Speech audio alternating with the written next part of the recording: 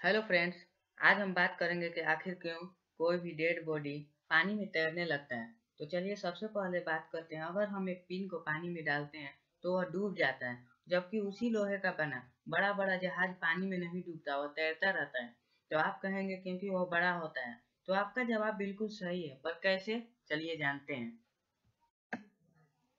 Hello friends तो पानी यह पानी का नियम यह कहता है कि अगर कोई भी वस्तु अपने वज़न से ज़्यादा पानी हटाता है तो वह पानी में तैर सकता है। तो जबकि हम नाव को जानते हैं कि वह ज़्यादा फ्लैट होता है तो वह पानी में तैर सकता है, क्योंकि वह बीच से खाली भी होता है। और वहीं अगर एक कील या फिर नेल या फिर पिन की बात करें तो वह वर्ड तो उसमें कम होता ही है, जितना भी हो, पर वह बीच से खाली नहीं होता और अपने वज़न से ज़्यादा वह पानी नहीं हटाता है।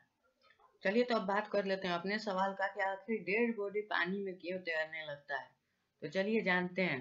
डेड बॉडी जब पानी में जाता है तो वह धीरे धीरे फूलने लगता है और वह फूलते फूलते इतना फूल जाता और वह फूलते फूलते इतना ज़्यादा फूल जाता है कि वह अपने वज़न से ज़्यादा पानी को हटाने लगता है और वह ऊपर आने लगता है। जो क्योंकि वह वज़न से ज़्यादा पानी हटाने लगेगा तो वह आर्टिमेजिस के सिद्धांत के द्वारा माना जाता है कि वह बाहर आ जाता है और यह बिल्कुल सही है क्योंकि कोई भी चीज़ अगर ज़्यादा हटाता है पानी तो वह बाहर आ जाया करता है पानी से ऊपर। हमारे इस नियम को आर्थिमेटिस का सिद्धांत भी कहते हैं, जो कि आर्थिमेटिस नाम के साइंटिस्ट ने बताया था।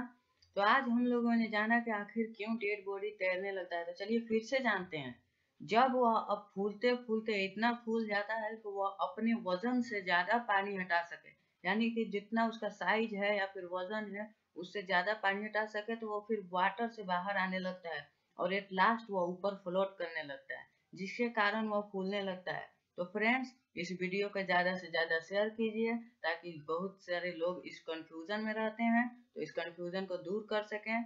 आप किसी को शेयर करेंगे तो वह दूसरे का कंफ्यूजन दूर हो जाएगा। So friends thank you if you can subscribe channel please subscribe now and share this video